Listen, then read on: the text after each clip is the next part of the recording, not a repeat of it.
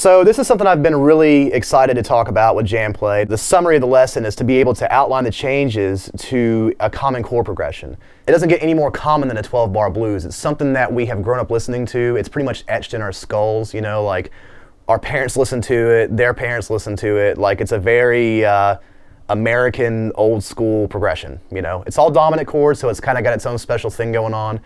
But the biggest misconception about uh, the 12 bar blues, really, in my opinion, is um, the first thing is the form. A lot of guys are like, let's play the blues, and they're just like, you know,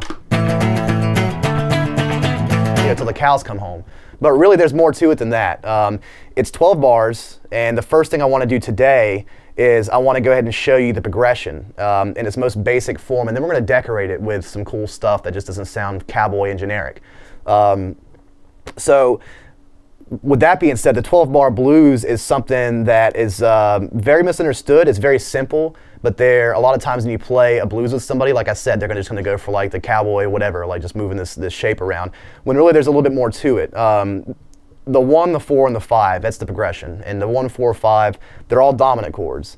So um, when I was kind of coming up as a player, I always wonder why I ran out of ammo. I always felt like I ran out of ammunition. Like, you know, like oh, I sounded good, but then I just kind of went off the tracks and it just kind of started sucking real bad. You know, just sort of sort of sounded like I was noodling, you know, or what have you. And uh, well, that's really the point. Um, the point that I got to was I was really frustrated, and I was thinking like, what is it? You know, what is it with me that I can't really just kind of bring out what I'm trying to bring out here and make music out of it? Because I heard other guys do it and they were amazing at it. And the first thing I realized is I was more concerned about soloing over the progression than I was actually eternalizing the progression. So I want to show you all right now a regular 12 bar blues with just regular dominant chords. Um, and I would like for you all to eternalize that and know exactly when the changes happen. Because if you learn this once, you can play a 12 bar blues with anybody around the world. That's the, that's the beauty of it. So here is the 12 bar blues in its most generic form. Four counts a chord, and we're going to do it in uh, quarter notes.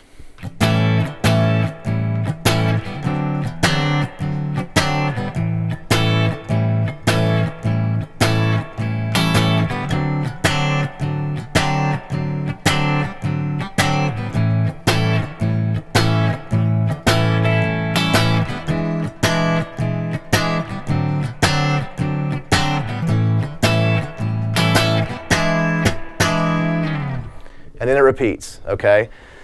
So really, I mean, that'll even pass for a, a, good jam. You know, you can throw that into somebody's face, and even if they play for like the best musician in the world, or they are the best musician in the world, they're going to get into that, and it's, it, they're going to be able to outline those changes, and that's what I'm hoping that we can talk about and kind of get to the bottom of today with all with all this stuff. Let's now talk about how to outline these changes with arpeggios and the exercise that I do every day.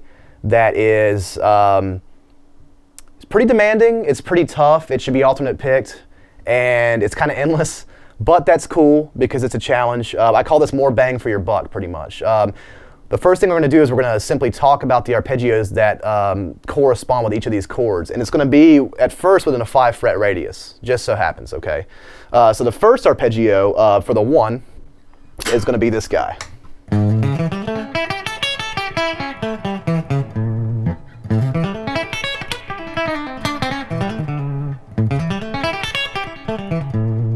Okay, now the next, uh, let's do that slow.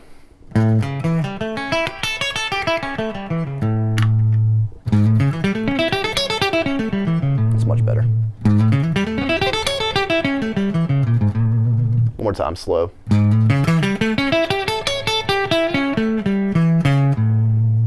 Okay, now you should be able to hear this next change go to the four just by me playing the arpeggio, you should be able to hear without any chord accompaniment, you should be able to hear the four happen, and here it is.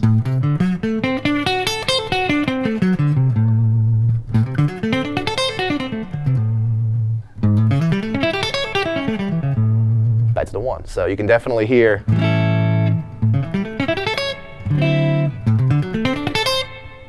Pretty cool, right?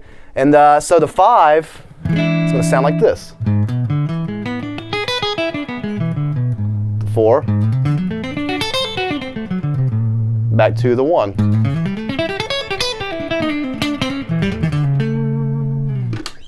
Okay, so we just went around the fifth position and we discovered one, three, five, seven, I'm sorry, one, three, five, flat seven uh, from each chord, the one, the four, and the five. by doing this and cycling through the changes and making sure that you don't break your stride, um, if you play eighth notes, if you practice in quarter notes, if the chord changes, don't just start over. Be able to play the next nearest note that would be applicable or that would correspond with the next chord. So if you're playing like in eighth notes, I mean, what I'd recommend is playing to a metronome. And um, you don't want to break your stride. You want to basically cycle through the changes as, as if you're cycling through the chords. You want to hear the chord inside of these single notes um, without any accompaniment. So that's the goal. So if I was to kind of jam around with this idea,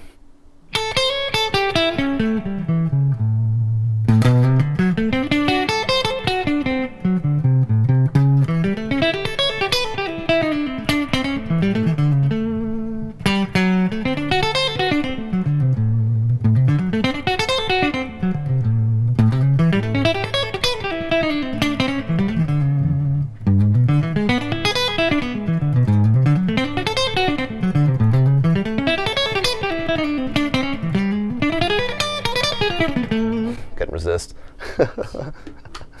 um, okay, so I, I mean, that was really loose. Um, I'm definitely going to try my best to tab that out in its entirety.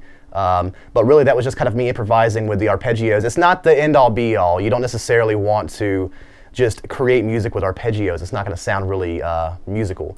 But um, the point of the exercise is the more you internalize this idea, you know, you're going to wake up one day and you're going to go, oh, okay, and you're going to be totally in control of, uh, of really outlining these changes. And like I said earlier, uh, a few uh, sessions ago, um, if you resolve on a chord tone, a primary or secondary chord tone, on the one, one, two, three, four chord change, you're going to show the listener you know exactly where the chord is. And that's, that's the whole objective for this uh, lesson series here.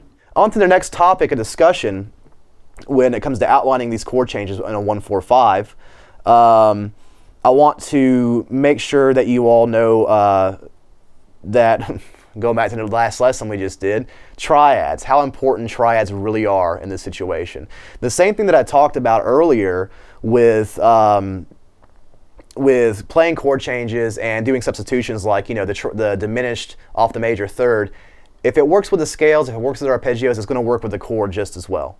So with that being said, if I was to play over like a regular blues again.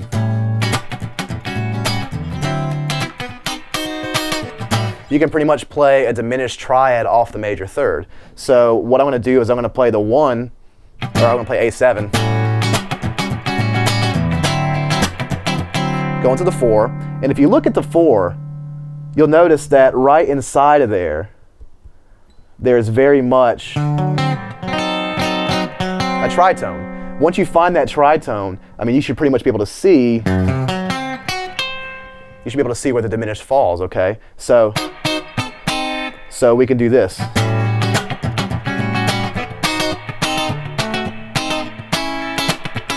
There you go. You know, I just do a major triad in there for the, the one. And that's just a really good way to, to kind of move about and experiment with a 145 that's just not very conventional. You know, it's very like Django Reinhardt inspired. Um, but a lot of gospel guys do it too. If you're jamming with somebody who knows what they're doing and you start throwing diminished with the major third at them, they're probably going to give you a high five when you're done playing. They're probably going to be like, yeah, yeah, cool, you know. I wanted to give you all some final notes about how important outlining the chord changes really is, okay? And when it comes to a listener in an audience or when it comes to a music appreciator, somebody just listening to a CD, a lot of times you may think to yourself, like, why is this important? Why do I have to really outline the changes when there's a lot of artists out there that just sort of, I mean, look at Allan Holdsworth. He doesn't exactly outline the changes in a very welcoming way. You know, it's very mad scientist sounding with that guy. But nonetheless, he definitely has a way to play the changes. You know, he has his own way of playing the changes, and I really respect that. Um, when it comes to playing the changes and letting the listener hear that you know the progression, believe it or not, even if you're a stale player, you're going to have a leg up on like 90% of, uh, of, of, musicians, in my opinion. I think that um, even on my bad days when I'm playing, uh, if I at least can just outline the chords and go through and practice and outline the chords of triads or arpeggios or scales or whatever, I feel like I'm, I'm a step closer to being where I want to be. You know, the goal for us all to do this exercise, we should all have a goal that should be um, to be able to play this and improvise with single notes, but still hearing chord accompaniment without there being chord accompaniment. So in other words, um, I'll just jam real quick and kind of give you guys an idea, for better or for worse.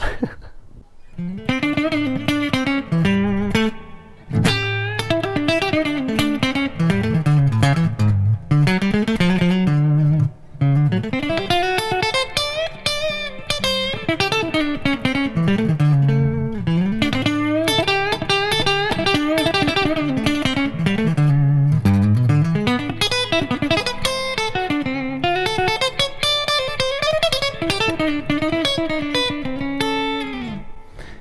you know, I, would hope that you could hear the blues inside of that, even though I was, I was kind of getting a little notey there. Um, but that'll pretty much conclude today's lesson on outlining chord changes uh, in a very common progression. That common progression is a 1-4-5, uh, aka the 12 bar blues. Once again, be very sure that you learn the formula to the 12 bar blues, you learn the format, because if you really learn that and solidify that and just have it in your head the whole time, it becomes second nature. And when you jam with somebody, you don't have to show them the progression; they know it. You know, we should all know this progression because we've heard it since we were, you know, little children or whatever. So that concludes today's lesson on outlining the chord changes in a one-four-five, otherwise known as a 12-bar blues.